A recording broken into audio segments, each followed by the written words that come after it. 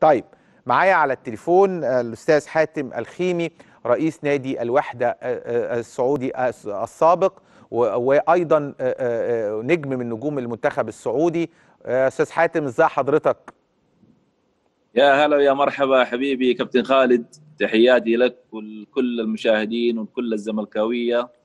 وسعيد إني أكون في قناة النادي المفضل لي نادي الزمالك الكبير.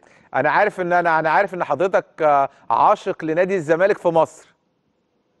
أنا مجنون زمالك مش عاشق. لا يعني. والله. طب احكي لي ارتباطك بنادي الزمالك يعني رغم إن أنت رئاستك لنادي الوحدة طبعا في, في نادي الوحدة نادي عريق وكبير وطبعا في مكة المكرمة احكي لنا ارتباطك بالزمالك جه إزاي؟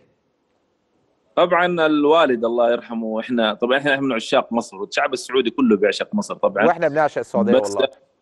الله يخليك. وإحنا الوالد الله يرحمه كان من عشاق مصر وكنا بننزل على طول وإحنا أطفال وكان هو زملكاوي قوي يعني. فكنا نروح يعني أنا هقول لك حاجات حتستغرب يعني. كنا نروح نادي الزمالك نعوم.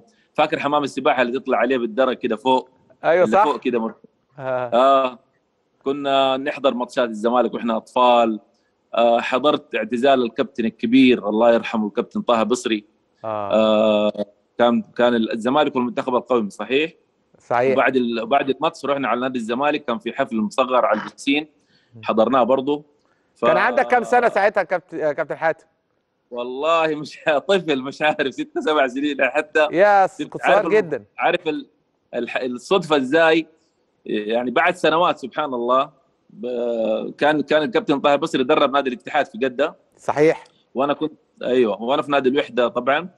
فقابلته سلمت عليه ويعني أنا بحبه كنت قوي طبعا. الجيل هذاك طبعا وكلكم أنتم حتى أنت لك محبة كبيرة عندي حبيبي يا كابتن حبيبي. بجد والله. ف كلمته قلت له فاكر العيلة السعودية اللي قبل قال لي أيوه والهدايا لحد دلوقتي عندي وكذا. قال لي ببص لي كده الله يرحمه قال لي اوعى تكون أنتوا. قلت له آه أنا فحضني وكذا سبحان الله. قابلته وأنا طفل وقابلته ضده كلاعب الله يرحمه.